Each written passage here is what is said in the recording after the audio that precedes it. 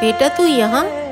तुझे कुछ चाहिए था? तुझे कमरे में मैं बना के लेके आती हूँ। मम्मी मैं अपना खाना खुद बना लूँगी। आप जाइए। इसको अचानक से क्या हो गया?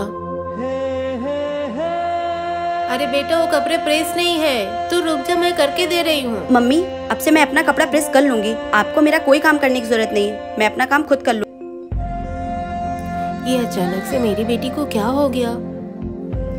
क्या हो गया बेटा? कुछ नहीं माँ।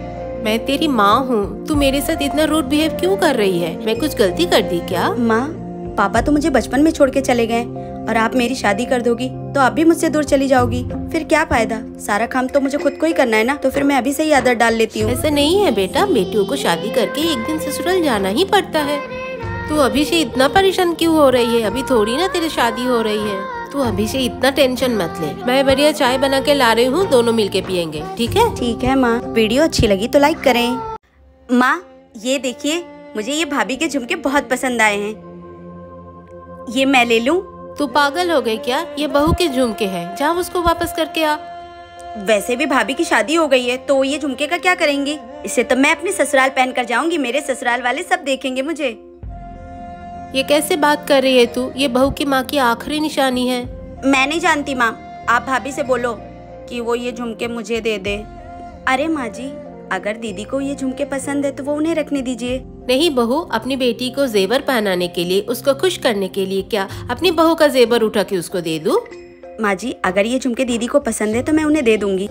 नहीं बहू ये सब अच्छा नहीं लगता। तेरा गहना पहना के अपनी बेटी को विदा करूँ और अपनी बहू को बिना गहना के रखूँ? ये सब एक माँ को शोभा नहीं देता। ठीक है माँ जी। और तू अब से अपना पराया बंद कर। ठीक है माँ।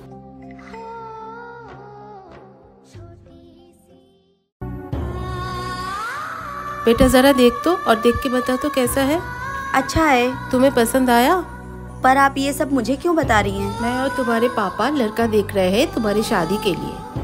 अरे बेटा सरकारी नौकरी वाला है। माँ लड़का पुलिस में है। आप लोग एक सरकारी नौकरी देखकर फिसल गए। वो बहुत पैसे वाले हैं। तू वहाँ खुश रहेगी। अरे तू राज करेगी वहाँ पर राज। पर ये ज़रूरी तो नहीं ना कि जो लड़का सरकारी नौकरी करे वही सिर्फ़ आपकी बेटी को खुश रख पाए। ये सब सोच अपने दिमाग से निकाल दीजिए। एक साधारण इंसान भी एक लड़की को खुश रख सकता है। और शादी के लिए पैसा होना ज़रूरी नहीं है। रिश्ते में प्यार और सम्मान का होना बहुत ज़रूरी है एक लड़की के लिए। और रही बात मेरी शादी की तो जब तक मेरी पढ़ाई कंप्लीट नहीं हो जाती तब तक मैं शादी नहीं करूँगी।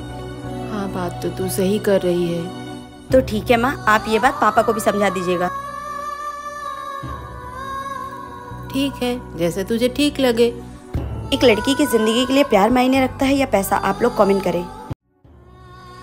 ये ले बेटा कपड़े और गहने। कल लड़के वाले तुझे देखने आएँगे तो ये सब पहन के रेडी हो जाना।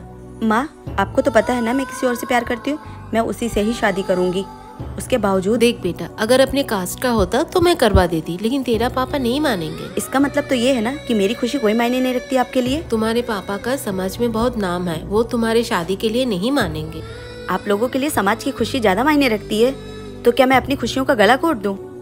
ये सब मुझे नहीं पता है ये सब पहन के कल तुझे रेडी होना है। कल लड़के वाले आएँगे तुझे देखने के लिए। दोबारा मुझे बोलना ना पड़े रेडी हो जाना। हेलो हेलो बेटी कैसी है तू? क्या कर रही है? कुछ नहीं काम कर रही। तू खुश तो है ना? हाँ माँ मैं बहुत खुश हूँ यहाँ। भले पिट रही हूँ यहाँ पर तो क्या हुआ? अपने जात वाले से पिट रही हूँ ना? पापा तो बहुत खुश होंगे।